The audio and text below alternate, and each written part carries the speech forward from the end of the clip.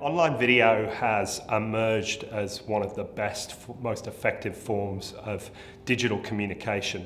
We think that video advertising is a key part of an overall video marketing strategy and you need to think of it like that, not in isolation or as an adjunct to a TVC campaign. If you do that, you're going to get a lot of success out of video advertising.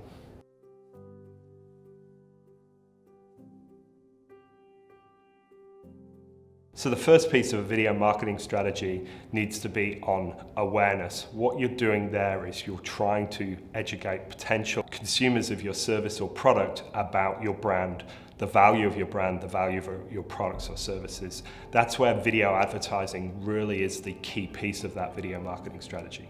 Moving to the acquisition uh, piece of it is, is also a, a, key place where you can leverage video.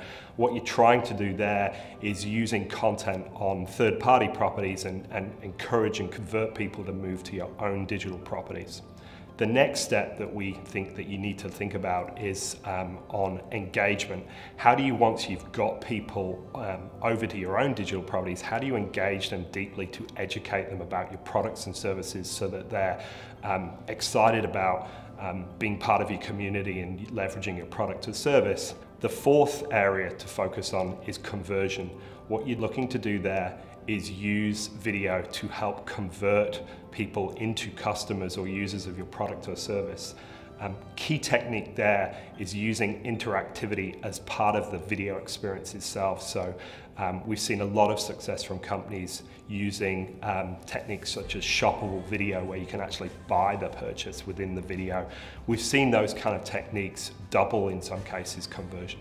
The final part of a video marketing strategy is on retention and loyalty. Um, that's where people are users of your service or your, um, they've bought your products. What you're trying to do there is use video to educate and inform them about the advantages of that service or product and get the most out of it.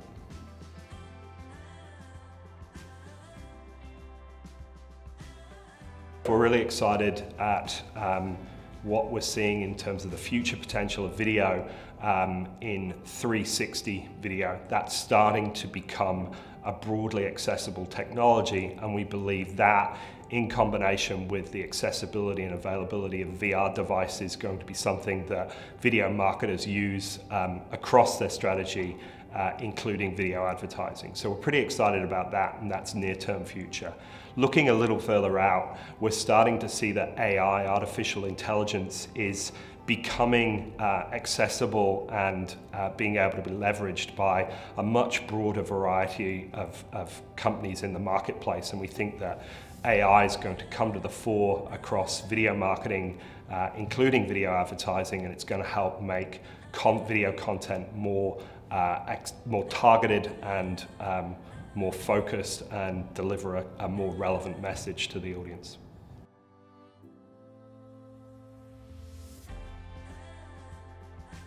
So I think the thing that I love most about video advertising is the fact that it's video.